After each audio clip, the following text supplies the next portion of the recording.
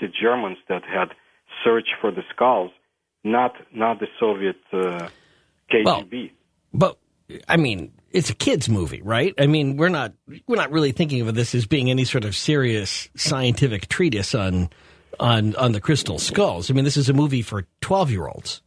Um, yeah, but you know what? He in the previous Indiana Jones movies, he, at least he tried to stay close somehow to to to the fact. And he, he's not Spielberg is not a stupid Yeah. personality. He does things with purpose. I I I, I believe. It's just lately I don't think accuracy is one of his uh, hallmarks. Gosh, I wouldn't be expecting accuracy in an Indi- any Indiana Jones movie. I mean, honestly, I wouldn't. I, I think you're you're you're elevating it to a purpose. I don't think it it has. I mean, I think the you have to remember the original title for it was uh, Indiana Jones versus the Saucer Men from Mars. I mean, it's much more to do with the 1950s matinee movies than it has to do with you know anything that I think is some sort of serious statement about science. But, um, but, but that having been said, um, I did think it was interesting. My wife made the observation, and I mentioned it a couple of weeks ago, that the crystal skulls themselves, when they have those, when they handle those in the film, those would have to weigh like a ton, and they're whipping them around like they are hollow plastic. And I, I so I, it, it, it's it's an interesting point, especially with the story that came out in the last couple of weeks or so about the crystal skulls that do exist, the ones that we do know about, have been re-examined. Uh, and once more, scientists have found that they don't believe that they are any older than the mid, uh, you know, 19th century, somewhere in the 1850s, and they were vi- very likely made in Europe not pre-Columbian, not made in South America. But where are you with that? With the with the crystal skulls that we have in museums right now? I agree to that. I think the first skulls, you know, basically appeared in uh, early ni- 1860s. They were very small, maybe, you know, somewhere just like an inch and a half high. And that, that's that's what was one in the British Museum. Um, you know, some of the, I, I do know that they came, the so-called Paris skulls came from uh, a gentleman by the name of Eugene Boban. He had the antiquity store in Mexico and then in Paris in 1870s. And here's the one that uh, produced the so-called second generation of skulls. You know, he couldn't sell it anything because in Mexico they considered them to be fakes. So he started selling them in New York in 18, 1886. And then there was the third generation. I think that's the larger size. And, and they appeared in, in 1930s. And one of the most famous ones we know now is the one that uh, Mitchell Hedges skull, made of uh, clear quartz crystal, and it weighs about 11 pounds, which is you know which is big, and it's like five inches high and five inches wide, seven inches long. Nothing like uh, was shown in the movie. Yeah. What uh, and so what? I mean, other than the the fakes, which we know we're all if we're on the same page on that, all the ones that are in the museums are fakes. The the ones you mentioned, the early ones, the little ones. Um, at least I read somewhere that those are very likely, or at least m- most scientists believe that th- they are probably linked to early Catholic practice in Mexico, not something that's pre-Columbian, but rather sometime after Columbus, after the conversion of native peoples to uh, to Catholicism, that they started carving these uh, skulls for counting purposes or for religious purposes. Where are you with that? It's quite possible with the, uh, with that. I, um, you know, my my research was uh, a little bit different. It's not the uh, even uh, genuineness of uh, of uh, the skulls. Is, is it's what people imply them to be, and uh, Nazis, uh, you know, because of Hitler, because of his, uh, you know, belief, believes in rituals and other, you know, mumbo jumbo, they believed the skulls to possess power, and they wanted to get them just like they wanted to get the, um, you know, Ark of Covenant and uh, other objects Right, that they the- consider to be full of ritual um, content. Right. So they spared no money to get them.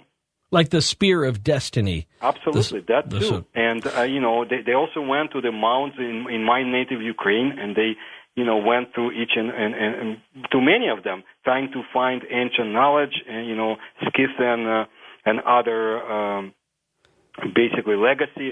And uh, they had a lot of money to spend. They spend more money on the on the projects of similar project than they spend on the uh, atomic bomb, which is good for us.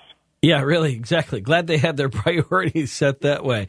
Uh, but let's talk about that a little bit more. So, what do what do, what have you been able to uncover about the Nazi pursuit of the crystal skulls? Because I got to tell you, because there is a great Russian uh, historian uh, who has incredible sources. Uh, her name is Samoilova, and basically uh, years ago I chanced upon that story and I started studying more. Uh, apparently, there was a Nazi expedition in 1943 and on a yacht that was uh, purchased by the German intelligence on behest of the so-called Ahnenerbe, which is a, a, Nazi organization in the SS, which was uh, uh, which had the mission to collect ritual objects.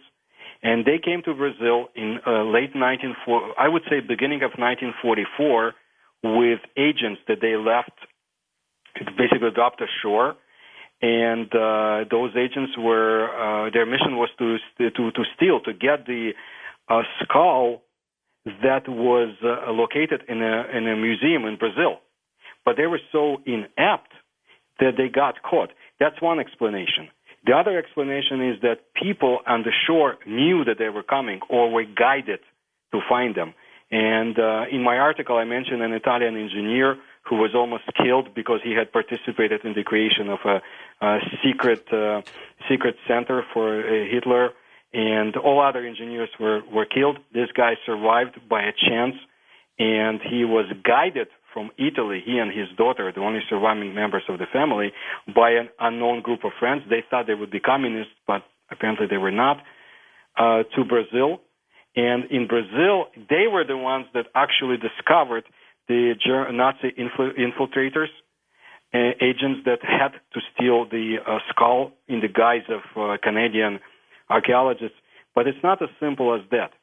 The guy who, the gentleman who was in, if I can call him that, who was in charge of the of the um, of the uh, yacht, Passim, uh, uh, Heinrich Garbers. After the war, after a few other missions, some successful, some not, he was actually uh, interrogated by by the uh, CIA of the time in 1945, who wanted to know about his missions, and um, he spent some years in prison, and then he died in 1963. And I think he carried quite a few secrets uh, to the grave with him, unless he told them to the Americans, because that mission is not very clear. I had another account not long ago. I read it after my article was published in an American news. Uh, uh, I'm sorry, in an American book that had stated that the mission to Brazil uh, consisted of only two people, one of whom was black from you know South America, who actually went on uh, voluntarily to, to help Nazis, which I find a little bit outlandish. But you know who knows what happened, and no mention whatsoever about the mission to steal the skulls. It's like somebody's trying to to to hush it up. I don't want to go into conspiracies, but even Samoilova's uh, information, despite the knowledge that she has, she would not mention Brazil as the country that the German intelligence had sent their agents to. Now, those agents again were ca- again were captured. They were not very uh, were able to do their work. I would say, you know, not maybe too full of intelligence.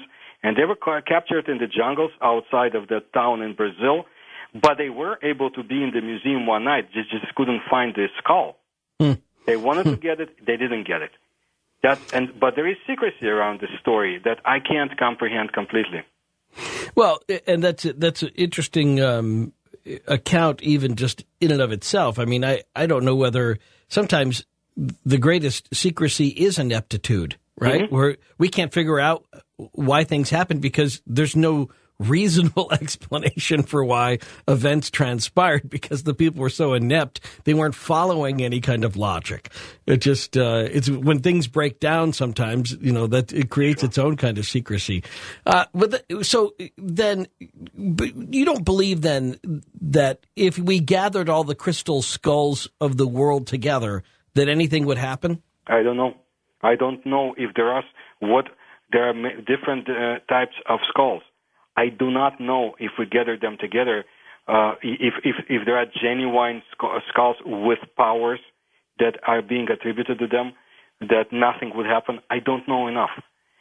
I, I, you know, my, I, I, it's to me, it's fascinating to follow up, to to open up trails, to see what's going on.